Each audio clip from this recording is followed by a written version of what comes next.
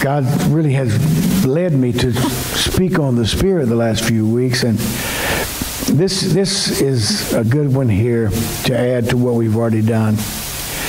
The person and power and provision of the Paraclete, the Helper. It's going to be a good time to look at the Word this morning. Mean, those kids were great, weren't they? Yes, they did a great job. Bob Fisher will be here on the 30th of the month. Don't forget that. I think we'll be all day long doing things on that 30th. Jesus actually applied the term to the Holy Spirit, the Paraclete, to be an advocate, our comforter, our helper. Let's ask the Lord to speak to us today. Father, we thank you for your word that is so true, so real. And Father, I pray that you'll speak to us today through this message and through the words that have been given to us today to share the wonders of your Spirit. And we thank you for changing our lives.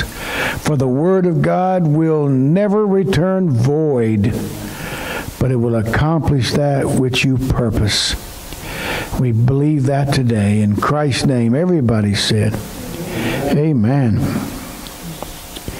Up here on the front seats, we also have some real good teaching and understanding on the baptism of the Holy Spirit that Terry has put together. And you really may want to pick one of these up. And you may want to not only pick one up for yourself, but pick one up maybe to give to someone that may have interest in the Holy Spirit. I think there's a time in which we live, there are people that are hungry for more of God. And this is something that could be really a beneficial thing. And also, she also has with her today some things concerning our Roman study for, for Wednesday night.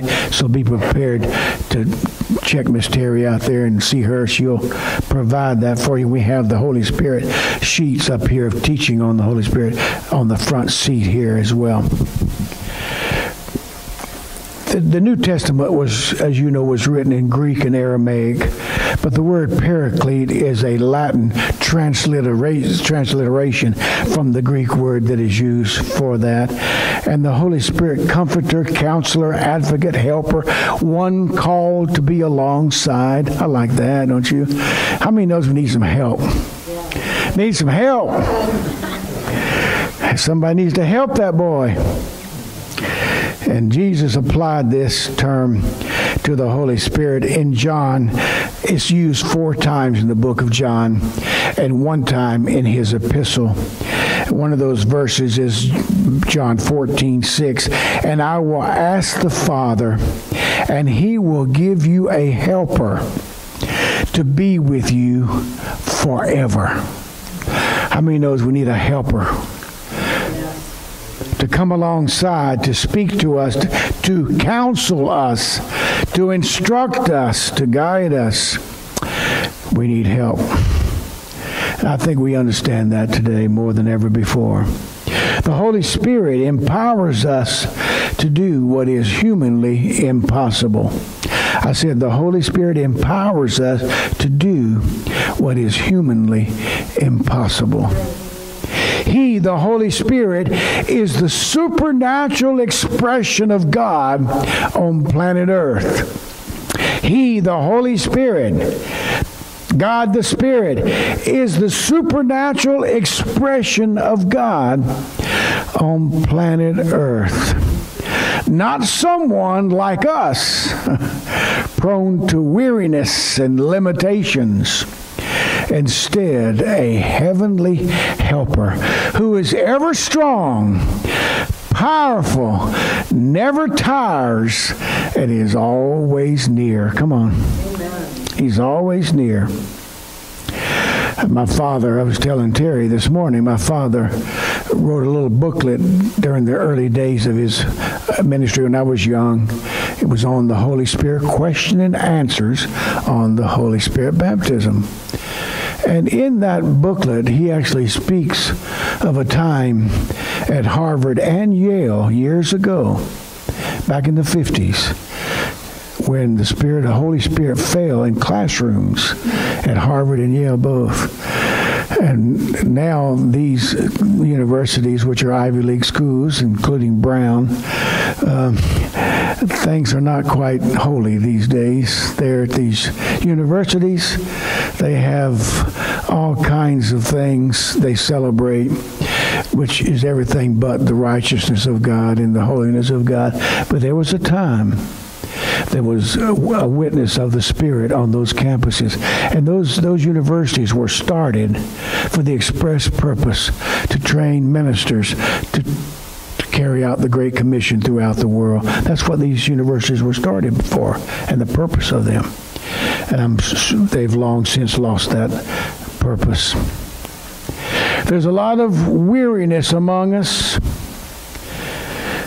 We are weary from loads we carry, and we're weary from the challenges that we face. We have questions we cannot answer.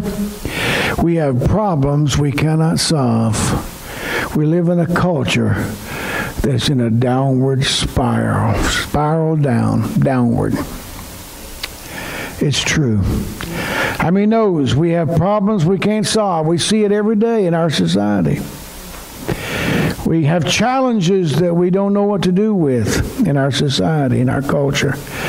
This past week in Raleigh, North Carolina, the tragedy of mass shootings that just Joan and I just we we caught it. We were watching the news, and then all of a sudden, they went to the mass shooting in Raleigh.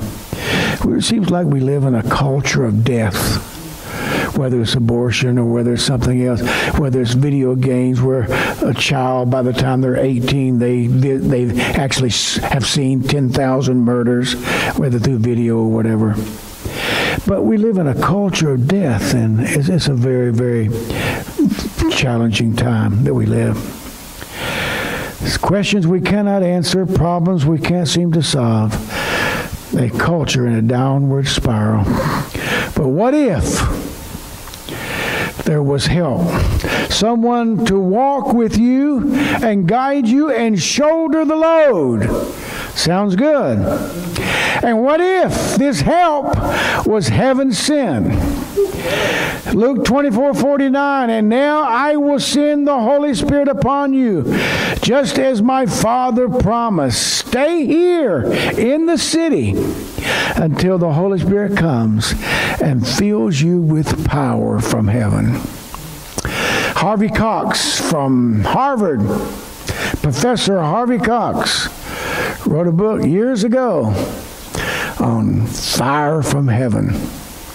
It's a very interesting book. I can tell you, I have looked at that book numerous times. And it was interesting. He goes into the Chicago World Fair where they built this shining white city. And there was a one part of that World's Fair. They had the, the, the religions of the world to come together, and they call it the New Pentecost but it was an ecumenical group of uh, nothing but ecumenical thinking, and uh, they had a fire. They had fire. They had a fire that burnt down all the buildings, uh, but it wasn't Holy Ghost fire. Interesting. Harvey Cox, Fire from Heaven, Harvard professor. If you love me, John 14, 15. If you love me, keep my commandments. And I will pray the Father, and he will give you another helper, comforter, advocate, some is used some versions, that he may abide with you forever. The Holy Spirit, the comforter, the advocate, will abide with us forever. I love that. But the Helper, the Holy Spirit, whom the Father will send in my name, he will teach you all things John 14, 26. Likewise, the Spirit also helps in our weakness. Romans 8, 26. Is there fire in your belly and is it running low? Is life sometimes an uphill struggle? And I like the terminology drip by drip and day by day.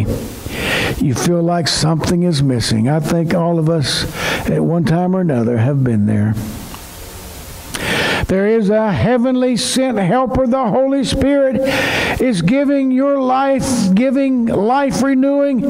He's a life giving, life renewing friend who strengthens us.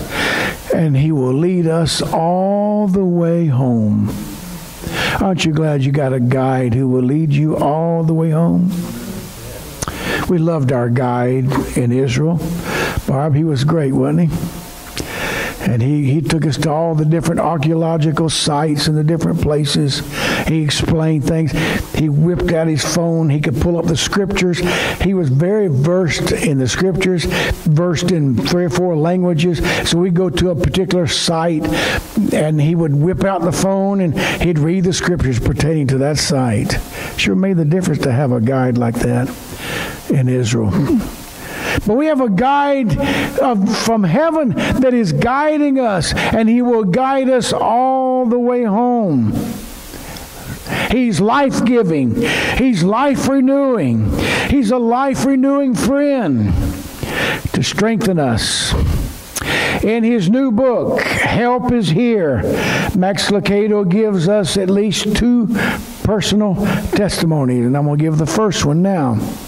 Now, you got to understand Max Lucado has been reported that he has at least 154 million books in circulation.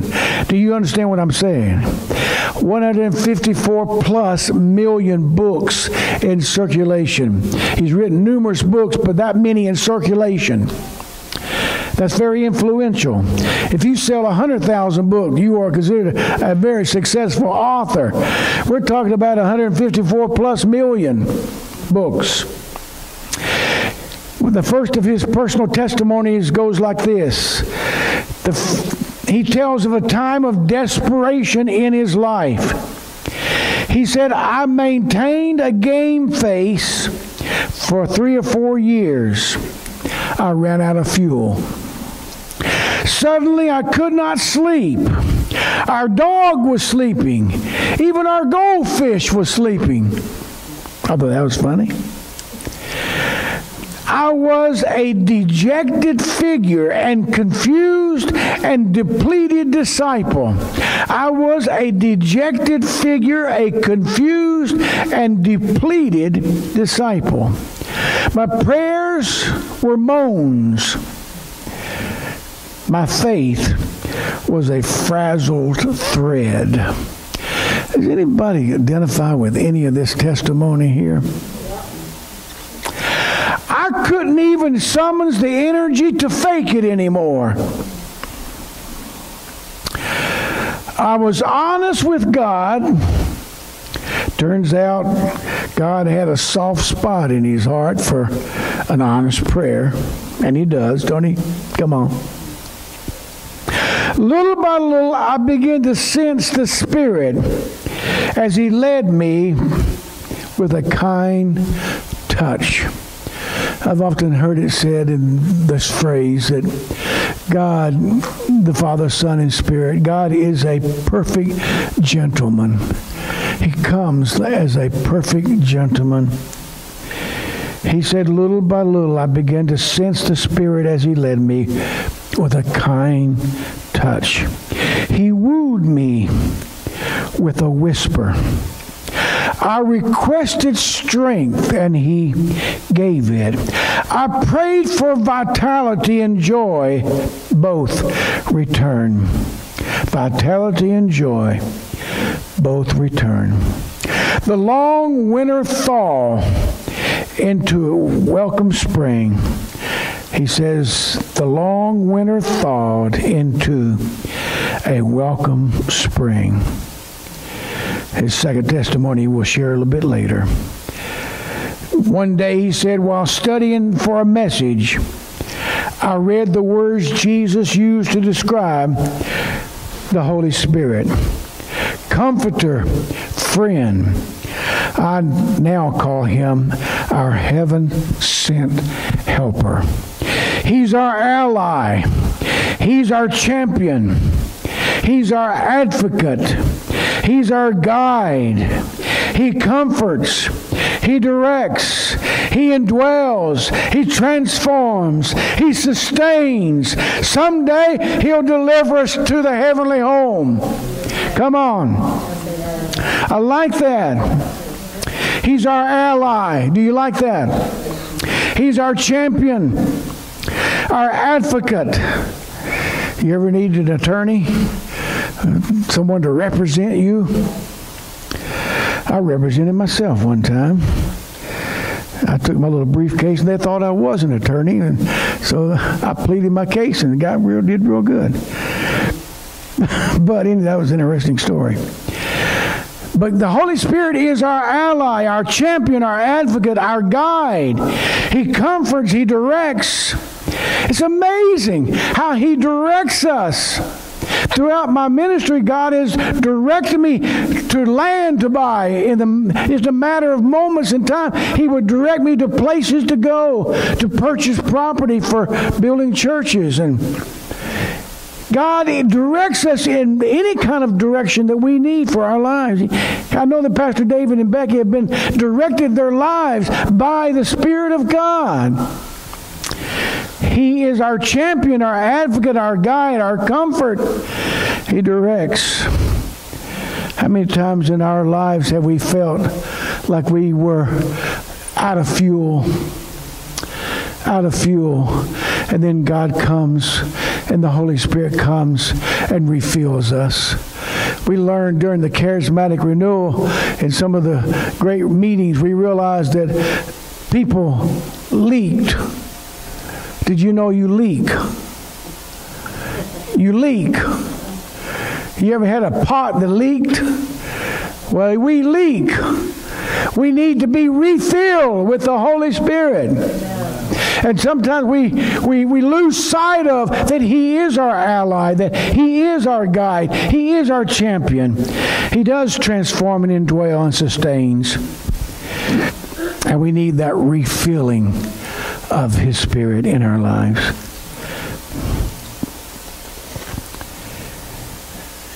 Acts 1 8 says, You shall receive power when the Holy Spirit comes upon you. I like that. The Holy Spirit comes with power. I like the way the translation given rendition by the Amplified Bible. When the Holy Spirit shall come upon you, you shall receive might, ability of the Holy Spirit. Might, ability power to do good choices, power to keep promises, power to silence the inner voices of fear and failure, power to get out of bed and get on with your life. If Jesus rose from the bed, from the dead, you can get out of bed. Amen. Power to get busy about right things in the right way. Power to face the unexpected. Man, how many knows there's a curveball in your life every so often? But the Holy Spirit gives us power to face the unexpected. And then we have to ask ourselves on a regular basis maybe we need something to check our power level. I know that when my daughter bought us a new grill, it came with a thing that you could put on your tank, and it gives you what your the, the level of your propane. And when it starts getting low, you know you need to take the tank and get it refilled. We need something, some kind of a gauge that tells us we're getting a little bit low. I think we kind of know, don't we? We kind of know. How is your power level? When the Holy Spirit comes upon us, He gives us energy, strength, enthusiasm for life. Your step has a spring to it, your voice has a song to it. If that doesn't describe you, consider the possibility of a life giving relationship with the Holy Spirit. No more walking this path alone. No more carrying the weight you were not intended to bear alone. It's time for us to enjoy the presence of the Holy Spirit and experience the life that He offers us, all of us. Amen. We need the Holy Spirit in our lives. We need that level of power. I tell you what, you find someone who's just been baptized in the Holy Spirit, and they actually need to be locked up for about a month. Because they are dangerous people. We, we had we had a Baptist preacher. I think I've mentioned this numerous times, but I heard about this Baptist preacher that got baptized in the Holy Spirit, and I had him to come for a week in Tennessee to do a revival and for a church of 35 members. 35, 40 members is all. We were a brand new home mission church. It didn't last a, a, week. It lasted eight weeks, two services a day, with accumulated attendance of over seven, eight thousand people. Johnny Cash came to that during that revival and gave his testimony. We're talking about this this Baptist preacher that got baptized in the Holy Spirit. He was something else. He was dangerous. Tell you the truth, it was amazing to see what God did. Max, Max Lucado said, God does not want a bunch of stressed out, worn out, done in, washed up Christians representing Him in the world. Can I read that again? God does not want a bunch of stressed out, worn out, done in, washed up Christians representing Him in the world. He wants us to be fresher day by day, hour by hour. We have a helper, a divine instructor. He will save us from the cul-de-sac of confusion and the dead end of doubt. Come on. He does this by enrolling us in the primary course of his university, and I call it Jesus Christ 101. Come on. He goes on to say, and I really like this. Don't copy the behavior and the customs of this world. Be not transformed, be not conformed to this world, but be transformed by the renewing of your mind. Don't let this world squeeze you in its mold. Romans 12 1. But be transformed by the renewing of your mind don't copy the behavior and customs of this world. You cannot hear the Spirit if you're listening to them. Listen to that. You cannot hear the Spirit if you're listening to them. You can't soar like an eagle if you're running around with dumb sheep. I didn't say that. Max did. So I can get by with it. I don't know why he'd say such a hard thing. How many know sheep are dumb? They're cute little things, but Bible, that's why they why we're called sheep. You you know about it, huh? You know, you know. Doug, he knows. Chuck, Chuck knows the story about it. You can't soar like an eagle if you're running with dumb sheep. The scripture employs more than a dozen metaphors to describe the work of the Spirit. Do you want to be wowed by Jesus? The Holy Spirit is the ultimate teacher. Do you want your prayers, do your prayers seem weak? He's our intercessor, Romans 8 26. Do you struggle to obey God's command? The Spirit is the wind of God. Are you unsure of your salvation? The Holy Spirit is the seal upon which, upon the saint. The Spirit is the dove of peace who calms us. I said, the Spirit is the dove of peace who calms us, the gift giver who equips us, the river of living water who flows out of us to refresh the world. It makes all the difference. My father had services that would last to two and three and four in the morning way back when. and a lot of people in, in the church worked in factories and one of the factory owners he came to him and he was just just crazy. He said i just don't understand your people.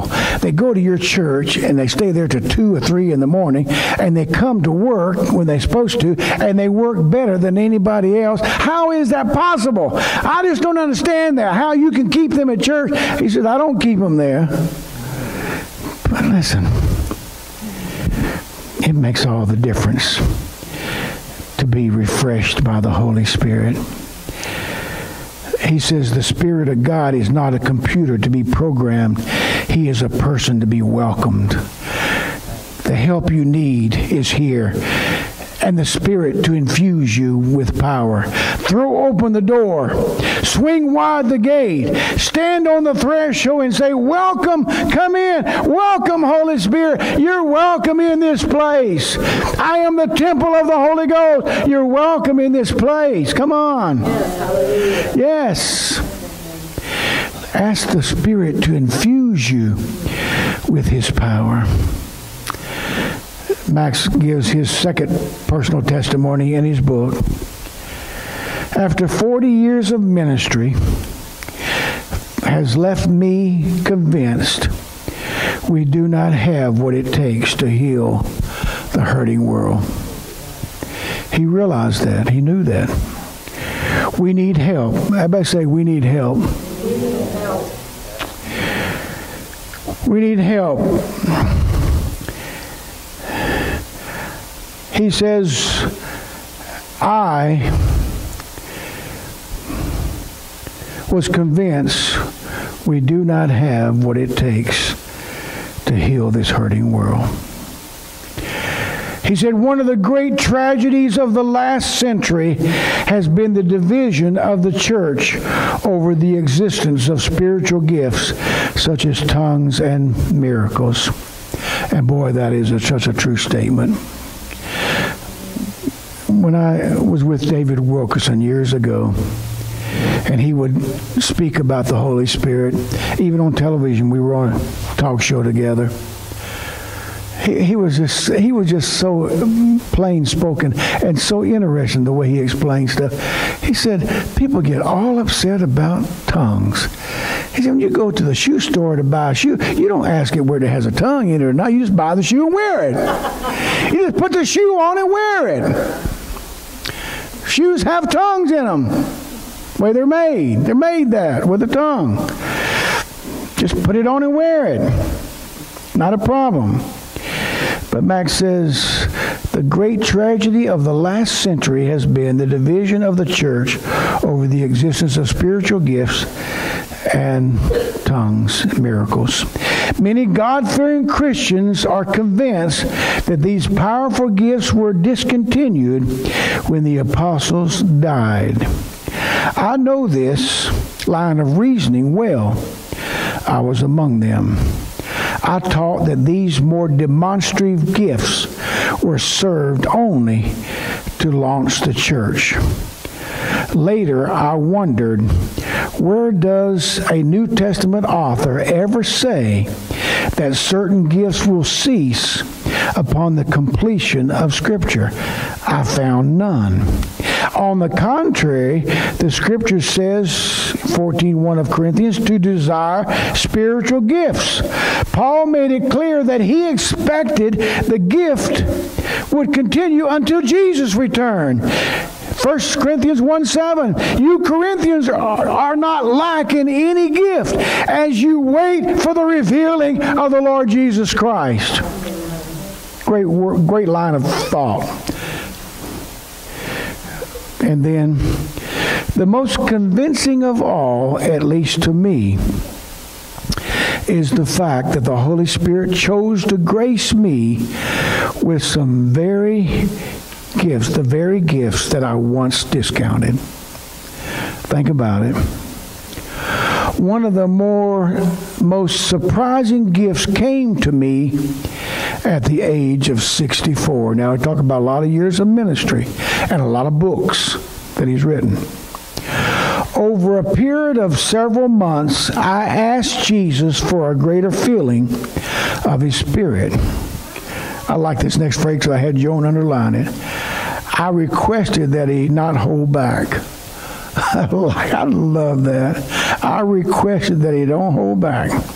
A lady came to my father and she she was a very she was of the blue bloods of the community. She was of the well-known movers and shakers of the community. She she said, "Now, Pastor Hicks, I like what I see these people have." but I'm highly educated and I'm, I'm not of a person of emotion. So I, I kind of want what they have, but I'm a little different than them. My father said, Ma'am, you've glow coated yourself with so many things you think you are and that you're not. I can't tell you what's going to happen when I lay hands on you. So you better be prepared. He laid hands on her and she showed off more than the rest of them. She was a lot more emotional than what she thought she was. And she wasn't quite as sophisticated as she thought she was. She made a scene worse than the rest of the people. Another occasion, another occasion, the mayor of the city walked into my father's church. And the board members came around and said, Pastor, we got to we, we need to be careful today and be be a little bit quieter today and not not let things get too out there you know with the spirit because the mayor's here and wouldn't you know it wouldn't you know it the lady that goes off went off that day but anyway you know, my, and and the mayor, as he was leaving the service, he said, "Wow, that was that's something I had never seen before." He said, "I've got to come back. This was interesting." And then another time, they were having a tent revival, and they had this thing set up, you know, this door to the kind of like a tabernacle door. It was a wooden door uh, attached to a tent thing, and and they were having service, and a lady got up and started going off a little bit, and my father said, "No, Lord, we, we want to keep things right here, so help us with this." And my father said that the door came off his hinges and floored the lady, and she laid her out for the rest of the service. She was, but anyway, she was kind of prone to get in the flesh a little bit. But the door landed on her, and she kept her out for the rest of the service. But anyway, I digressed here. He said, I requested that he not hold back, but that he pour out on me all the gifts he ever ordained me to have. In the pre dawn hours of a summer morning, as I sat on the veranda and prayed, I began to experience a heavenly prayer language. From deep within me, there welled a flow of utterance. The feeling was one of delight and worship. During the charismatic renewal, uh, we, we got calls at our church. We had a, a, a, a old lady who was an architect's wife, a, a very famous architect in town, and she says, uh, uh "Just Reverend Hicks, and you do pastor a full gospel church of the Assembly?" I said, "Yes." She says, "Could you and your wife please come over to my house?" She said, Something has happened to me and I don't understand. She said, I was praying the other morning and I was just in deep, intense prayer before God. And she said, I don't know what happened to me. But she said, all of a sudden, something began to well up in my spirit. It just began to, in my spirit, begin to well up in me. And I began to speak in a, in a language that I, I do not know how it happened. Could you come and tell me what's happened to me? She had never been taught. She didn't know anything about the baptism. But in a moment of intense prayer, it just all of a sudden just automatically came. Nobody was shaking her. Nobody was spitting on her, you know, moving her tongue or anything. She said, I was just, I was just praying in this quiet moment. And the Spirit of God began to speak out of me. And during the charismatic renewal, over 20 million Catholics experienced the same thing. David du Plessis was among some of those Catholics that he ministered to worldwide. That was worldwide. It was amazing. Our God dwells in a supernatural realm. The unseen and miraculous are his stock in trade. The Holy Spirit is the ultimate gift giver. I said, the Holy Spirit is the ultimate gift giver. He garnishes his children with supernatural abilities that glorify God, bless the needy, and edify the church. Come, Holy Spirit, our helper. We desperately need you in our personal life and in our church. Max Lucado said in his book, Help is here. Pretty amazing story. And I had to share that with you because I think it's pretty dramatic. Pretty dramatic. Yeah, we're going to sing what we sang last week. Let's stand together. Good.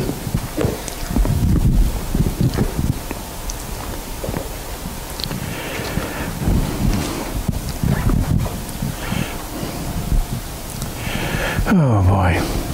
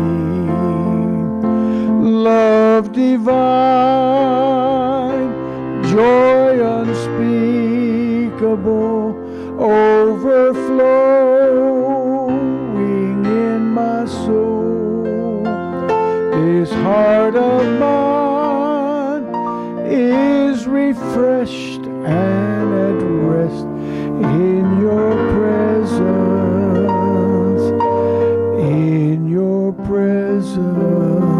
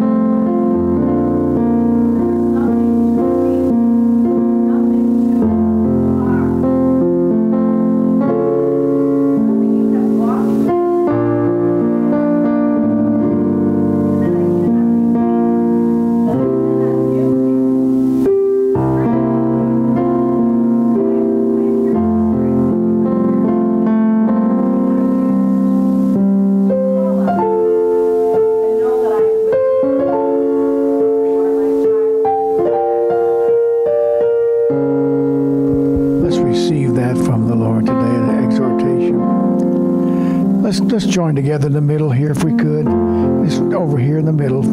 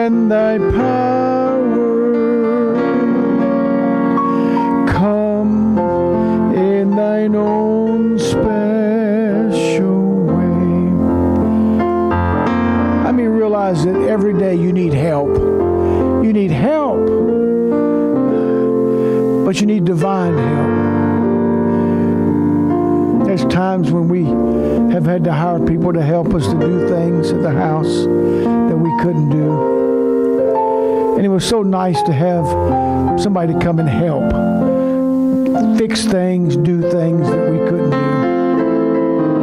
But for, for what we're talking about our lives here, the Spirit is our advocate, our counselor. He's our helper. He'll help us. That's what He's there for. To come alongside is another phraseology that's used. To come alongside. Oh, man We need Him to come alongside us, to guide us, to counsel us, to, to direct us, to, to feel, to, to experience His presence. Oh, thank you, Lord. One more time, come, Holy Spirit. Come, Holy Spirit.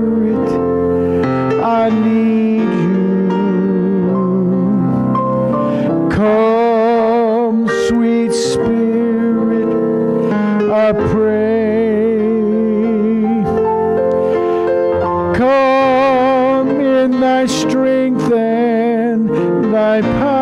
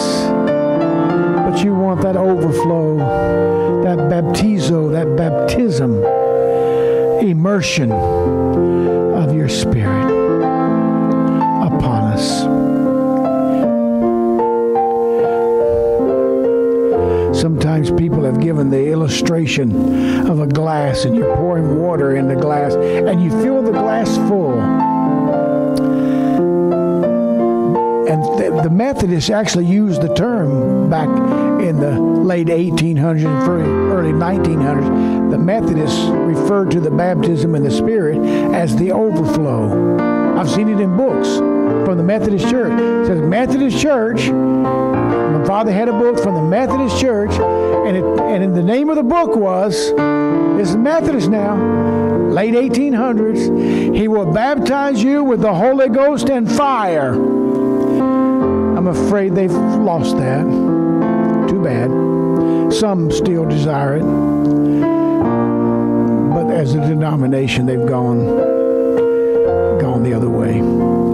But the glass, you keep pouring water in it, and what happens, Joanne? If you keep pouring, it just overflows. It just overflows.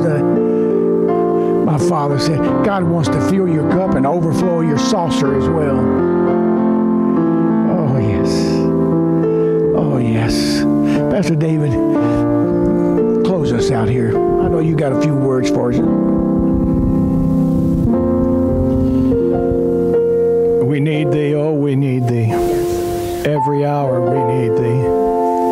We thank you, Lord Jesus, that you're coming soon, that we're in these closing days of time, but there's still the light of the glorious gospel that can shine into this dark, dark world. Satan, going about like a roaring lion seeking whom he may devour. And Lord, you told us as it was in the days of Noah, as it was in the days of Lot. In the days of Noah, it was violent. Lord, we see our precious police officers being shot. We see people who have no regard for life. But, oh God, you are our life. We pray, oh God, for a revival in these last days. For you, you also said, as it was in the days of Sodom, and we look everywhere, people are falling into such lust and such uh, horrible situations of jealousy and rage. Thank you, Lord God, that we found you and you found us. Thank you, Lord God, that you are our loving Savior, that you hold us in the hollow of your hand and we have nothing to fear. Thank you for the power of the Holy Spirit who rides within us.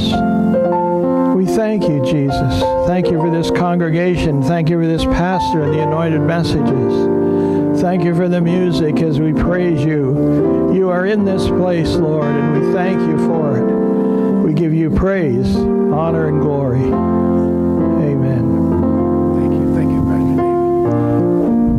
Forget we have lunch, and if you forgot to bring something, we brought something. So come on, come on, eat.